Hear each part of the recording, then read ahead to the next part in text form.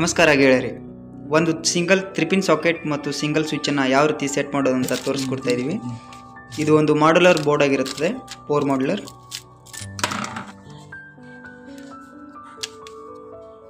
ಬೋರ್ಡನ್ನು ಈ ರೀತಿ ಓಪನ್ ಮಾಡಬೇಕು.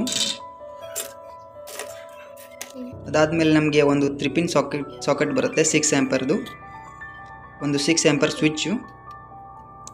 Four modular ಇರೋದ್ರಿಂದ ನಾವು ಒಂದು ಡಮ್ಮಿನ ಯೂಸ್ ಮಾಡ್ತಾ ಇದ್ದೀವಿ. ಇದಕ್ಕೆ ಯಾವುದೇ ಥರ ಸ್ಕ್ರೂ ಬರಲ್ಲ. ಜಸ್ಟ್ ಪ್ರೆಸ್ ಮಾಡಿದರೆ ಸಾಕಾಗುತ್ತೆ. ಸೆಂಟ್ರಲ್ಲಿ ಒಂದು ಡಮ್ಮಿ ಹಾಕ್ತಾ ಇದ್ದೀವಿ. ಇದು ಸಿಕ್ಸ್ ಆ್ಯಮ್ ಸ್ವಿಚ್ ಇದು. ಇಲ್ಲಿ ಕೆಳಗಡೆ ಒಂದು ಎರ ಮಾರ್ಕ್ ಕಾಣಿಸ್ತಾ ಇದೆಯಲ್ಲ, ಇದು ಯಾವಾಗಲೂ ಮೇಲ್ಗಡೆನೇ ಇರಬೇಕು, ಮೇಲ್ಮುಖವಾಗಿ. ಸಾಕೆಟ್ ಮತ್ತು ಸ್ವಿಚ್ ಇಲ್ಲಿ ನಾವು ಪೇಜನ್ನು ಕೊಡಬೇಕು. ಅಲ್ಲಿ ಎಲ್ ಅಂತ ಬರೆದಿರುತ್ತೆ. ಎನ್ ಅಂತ ಬರೆದಲ್ಲಿ ನ್ಯೂಟ್ರಲನ್ನು ಕೊಡಬೇಕು.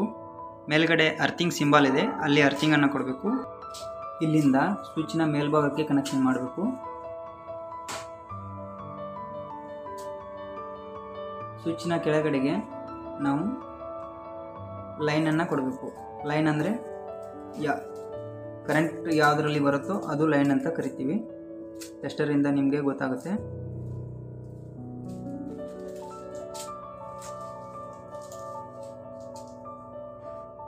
ಸಾಕೆಟ್ನ ಬಲಭಾಗದಲ್ಲಿ ಎಲ್ ಅಂತ ಬರೆದಿರ್ತಾರೆ. ಅಲ್ಲಿಂದ ಸ್ವಿಚ್ನ ಮೇಲ್ಭಾಗಕ್ಕೆ ನಾವು ಯಾವ ಸ್ವಿಚ್ಚಿಂದ ಆಪ್ರೇಟ್ ಮಾಡಬೇಕು, ಆ ಸ್ವಿಚ್ನ ಮೇಲ್ಭಾಗಕ್ಕೆ ಅದನ್ನು ಹೋಗಿ ಕನೆಕ್ಟ್ ಮಾಡ್ಕೊಳ್ಬೇಕು.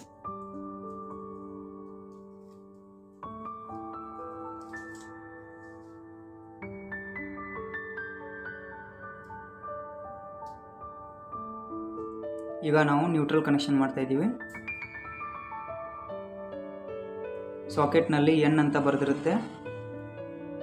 ಅಲ್ಲಿ ನಾವು ನ್ಯೂಟ್ರಲನ್ನು ಕೊಡಬೇಕು.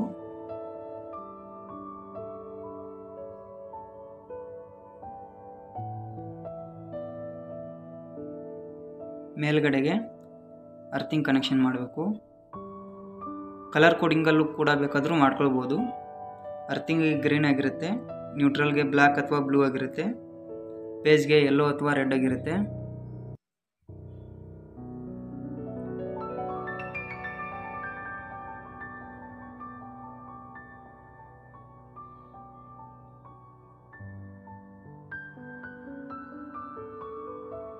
ಈಗ ನಾವು ಒಂದು ಸ್ವಿಚ್ ಬೋರ್ಡಿಂದ ಕನೆಕ್ಟ್ ಮಾಡಿಕೊಂಡು ನೋಡೋಣ.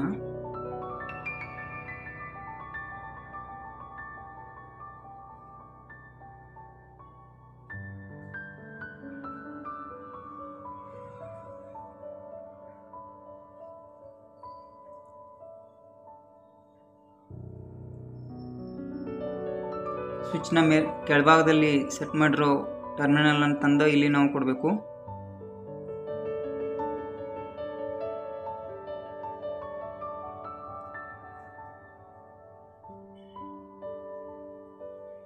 ಈಗ ನ್ಯೂಟ್ರಲನ್ನು ತಗೊಂಡು ಮತ್ತೆ ಅಲ್ಲಿ ಕನೆಕ್ಟ್ ಮಾಡೋಣ.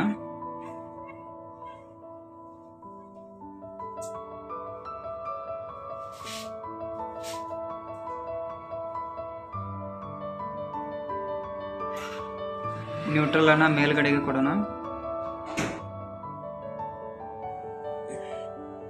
ಈಗ ಒಂದ್ಸಲ ಚೆಕ್ ಮಾಡಿ ನೋಡೋಣ. ಸ್ವಿಚ್ ಆನ್ ಮಾಡಿದ್ರೆ ಚಾರ್ಜರ್ ಆನ್ ಆಗುತ್ತೆ. ಈಗ ಕಂಪ್ಲೀಟಾಗಿ ಸ್ವಿಚ್ನ ಕಂಟ್ರೋಲಲ್ಲಿ ಸಾಕೆಟ್ ಇದೆ.